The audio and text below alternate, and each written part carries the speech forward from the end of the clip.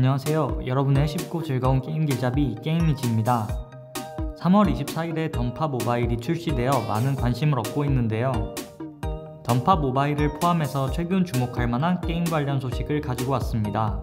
요즘 어떤 게임이 핫한지 참고해 주시고 첫 번째로 던파 모바일 출시 소식부터 확인해 보겠습니다.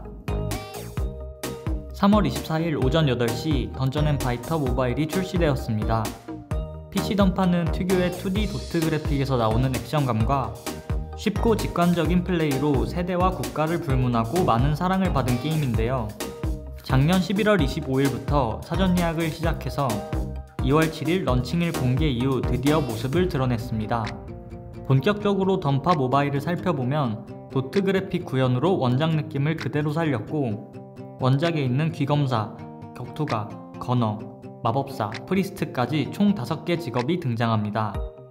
또 10레벨을 달성하면 각 직업에 맞게 버서커, 웨펀 마스터, 아수라 등으로 전직이 가능하며 선호하는 플레이 스타일과 포지션에 맞는 캐릭터 육성을 할 수 있습니다.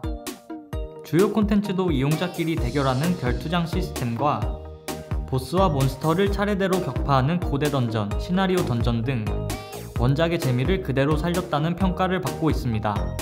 이러한 재미를 바탕으로 던파 모바일은 우수한 성과를 보이고 있는데요. 출시 전날부터 양대 앱마켓에서 총 120만 건의 사전 다운로드와 사전 캐릭터 생성 110만 건 달성으로 넥슨 출시 게임 중 가장 많은 수치를 기록했고 출시 이후 양대 마켓 인기 순위 1위와 매출 순위 구글 2위, 애플 스토어 1위를 기록했습니다. 뜨거운 관심을 얻고 있는 만큼 PC로 해보신 분들은 한번 플레이해보시면 좋을 것 같네요. 추가로 6월 28일 PC와 콘솔로 던파 듀얼이 출시된다는 소식도 있습니다. 공개된 플레이 영상을 보니 2D 도트 그래픽을 탈피한 모습인데요. 4월 2일부터 4일까지 플스로 2차 CBT를 진행한다고 하니 관심 있는 분들은 참고해 주시고요. 지금까지 던파 모바일 정식 출시 소식과 던파 듀얼 관련 소식이었습니다. 두 번째는 오버워치2의 첫 베타 테스트 소식입니다. 블리자드가 4월 26일 오버워치2의 첫 CBT 일정을 공개했습니다. 3월 11일 개발자 업데이트 영상을 통해 PVP 베타 1에 참가할 테스터 모집을 시작했는데요. 이번 1차 베타 테스트는 PC로 진행되고 콘솔은 추후에 진행 예정이라고 합니다. 참여 방법은 공식 신청 페이지에서 국가 제한 없이 옵치 1 구매 유저라면 신청이 가능하고 메일로 합격 여부를 전달한다고 하니 신청하실 분들 참고하시면 좋을 것 같습니다. 이제 테스트 내용을 살펴보면 이번 테스트는 PVP에 초점을 맞췄다고 언급했는데요. 테스트 참여 시 5대5 협동전과 신규 밀기 모드 4개의 신규 전장을 체험할 수 있고 새로운 공격 영웅 소전과 신규 ping 시스템도 제공한다고 합니다. 현재는 관계자와 오버워치 선수들을 대상으로 비공개 테스트를 진행 중이고 첫 베타 테스트 전까지 지속적인 최적화로 완성도를 높일 예정이라고 하네요. 참고로 옵치2는 원래 올해 출시 예정이었으나 연기되어 내년 출시를 목표로 준비 중이니 나는 먼저 옵치2를 경험하고 싶다 하는 분들은 지금이 기회니까 꼭 신청해 보시고요. 지금까지 오버워치2의 첫 베타 테스트 진행 소식이었습니다. 세 번째는 NC소프트 신작 TL의 in-game 공식 트레일러 영상 공개 소식입니다.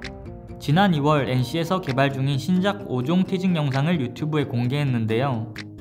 3월 17일 공식 유튜브 채널에 추가로 TL의 공식 트레일러 영상이 업로드되었습니다.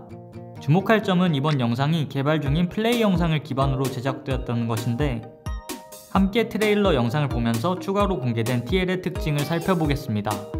먼저 영상 초반에는 서양 중세시대 컨셉의 배경과 세계관을 보여주면서 시작하고 TL의 대략적인 스토리를 반영한 장면도 추가로 나옵니다. 다음에는 상자를 뛰어넘고 로프로 암벽을 등반하는 장면이 나오는데 지형지물과 상호작용을 통해 게임 속 공간을 활용하며 몰입도를 높일 수 있을 것 같네요. 수집품을 조사하는 장면도 나오는데 수집 시 스토리 오픈과 보상을 줄 것으로 예상됩니다. 다음은 협동 PVE 컨텐츠에서 동물에서 사람으로 변신하는 장면이 나오는데 대규모 PVP 전투 장면에서도 동물로 변신하는 것을 보면 전투 컨텐츠에서 TL이 내세우는 핵심 재미 요소 중 하나로 예상되네요. 이제 트레일러 영상 외에 기사로 공개된 정보를 알아보겠습니다. 먼저 TL은 동일 지역 안에서 날씨가 바뀌면 전투에 영향을 준다고 하는데요. 비가 오면 lightning 공격이 강화되고 하수구 주변 접근이 제한되는 등 이러한 환경적 변수에 대응하여 유저의 전략적인 플레이가 필요하다고 합니다. 또 TL은 2월 teasing 영상을 통해 함께 공개한 프로젝트 2와 세계관을 공유합니다. 동일 세계관 속 동양 중세 컨셉의 프로젝트 2와 다른 역사가 펼쳐지는 이야기라고 하는데 이 부분도 참고하셔서 두 개 게임의 정보를 살펴보시면 도움이 될 것 같네요. 다음에 추가로 게임 정보가 오픈되면 다시 관련 소식을 전해드리겠습니다. 지금까지 NC소프트 TL의 공식 트레일러 영상 공개 소식이었습니다. 제가 오늘 준비한 게임 소식은 여기까지입니다. 다양한 게임을 제공하기 위해 기존 IP와 신규 IP를 활용한 게임 출시가 활발한데요. 앞으로도 여러분이 꼭 참고할 만한 게임 소식 정리해서 정기적으로 올리겠습니다. 오늘 영상 유익하게 보셨다면 좋아요와 채널 구독 부탁드리고요. 저는 다음에 더 유익한 영상으로 찾아뵙겠습니다.